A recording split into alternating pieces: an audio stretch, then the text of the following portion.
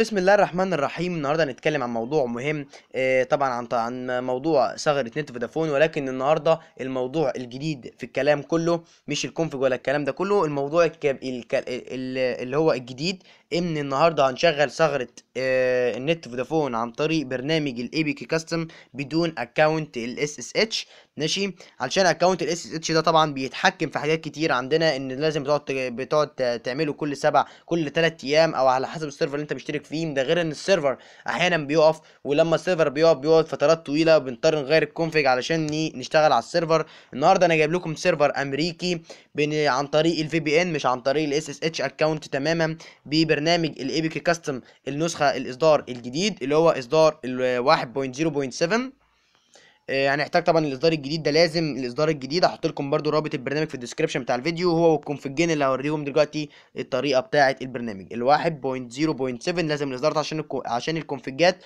يقروا على البرنامج. طيب بنعمل إيه رقم واحد؟ رقم واحد بنفتح الثلاث شرط اللي فوق ونعلم على ال VPN setting نخش عليها ونتك على علامة زائد اللي تحت ونعمل open config وهكون حاطط لكم رابط ال config دوت في ال description بتاع الفيديو هنتك عليه هنلاقي علامة ال use payload اتكل عليها يعني يعني اتعلم عليها. هنتك على علامة الزائد تاني ونعمل اوبن سي اف جي في بي ام برضه هكون حاطط لكم رابط ال open VPN دوت على آه، في ال description بتاع الفيديو. هكون حاطط لكم رابط ال config ده برضه في ال description بتاع الفيديو بنتك عليه.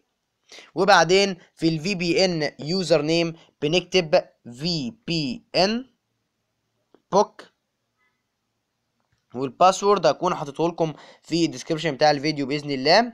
ولكن هو برضو همليه لحضراتكم دلوقتي عشان لو عايزين تكتبوه ممكن تكتبوه دلوقتي هيبقى الكيو ام 67 كي جي ام كيو ام 67 كي جي ام يبقى كيو ام كيو ام 67 كي جي ام زي ما حضراتكم شايفين آه، طبعا هكون منزل ده برضو الفيديو بالجودة بإذن الله يكون HD فكون واضحة قدامكم كل حاجة.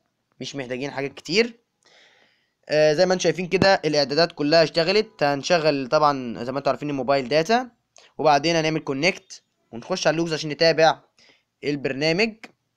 هنلاقي البرنامج عمل استيكيتنج فوق وبعدين البرنامج شوف لقط سرعة اللقط بتاعته حلوة جدا ما بيتأخرش زي ال account ال SSH بيشتغل بسرعة جدا ودي حاجة عجباني فيه.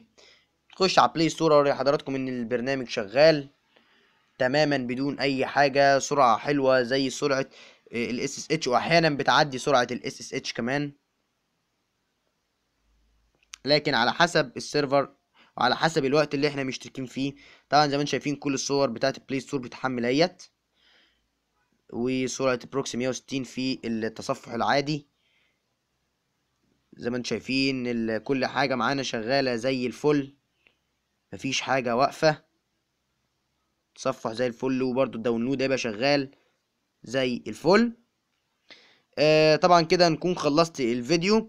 بإذن الله أكون حاطط لكم آه معلش الفيديو طالع فيه بسرعة عشان بس الامتحانات ولكن بإذن الله أكون حاطط لكم كل حاجة في ال description بتاع الفيديو ورابط البرنامج ال APK Custom الجديد اللي لازم تنزله.